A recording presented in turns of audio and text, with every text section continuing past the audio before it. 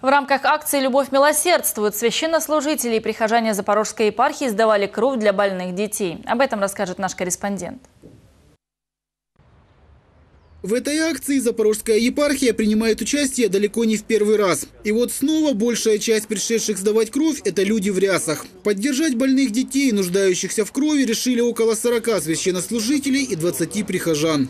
Кровь – это не только, так скажем, символ человеческой принадлежности, но и кровь – это символ вообще жизни каждого из нас. И поэтому очень важно, когда каждый из нас может прийти на помощь э, тем, кто нуждается Кровь – это то, что, несмотря на развитие науки и медицины, невозможно заменить искусственным аналогом. Поэтому все зависит от сознательности граждан. И в Запорожской области нынче с этим полный порядок. У нас в течение года, если говорить о всей области, до 50 тысяч крови плазмотач.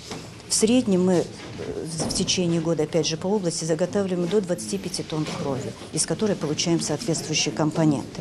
Сегодня, в принципе, банк крови, если он не будет терять своих потенциальных доноров, он самодостаточный. Мы свою область обеспечить можем. Игуменья Клеопатра едва ли не единственная женщина в многочисленной компании священнослужителей. Здесь она уже не впервые, поэтому абсолютно не волновалась и даже пошла сдавать кровь первой. Я принимаю участие не в первый раз и считаю, что она очень важна, эта акция. Хотелось бы, чтобы побольше людей принимали в ней участие. Если мы будем носить маленькую лепту, хоть даже такую, то Господь э, всем нам воздаст старицу.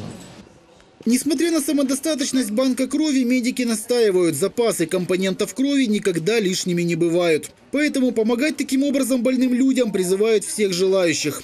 Напомним, в нашей стране донор получает небольшую денежную компенсацию, может пройти бесплатные обследования на ВИЧ и гепатит, а также получает два выходных. Один в день сдачи и еще один в течение года.